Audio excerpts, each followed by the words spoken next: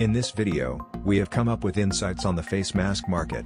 Worldwide coronavirus outbreak, rise in consumer awareness regarding airborne infections, and increase in government investments drive the growth of the global face mask market.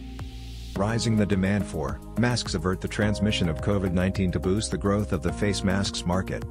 Let's see how. During the coronavirus pandemic, the production of the face mask has been increased across the globe.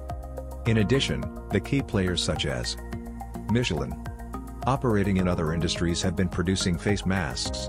Michelin has been producing nearly 400,000 masks per week for healthcare workers.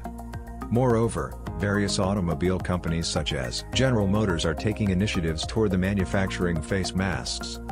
Asia-Pacific region will provide huge business opportunities for the market in coming years.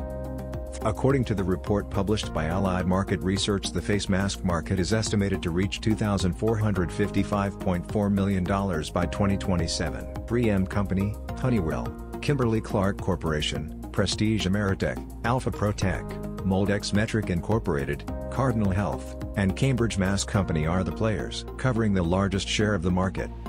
AMR has prepared a thorough report on this market, it also includes the detailed analysis on the impact of the COVID-19 pandemic on the market. To get this report, please visit our website or contact our sales executives. Stay tuned and subscribe our YouTube channel to watch our upcoming videos.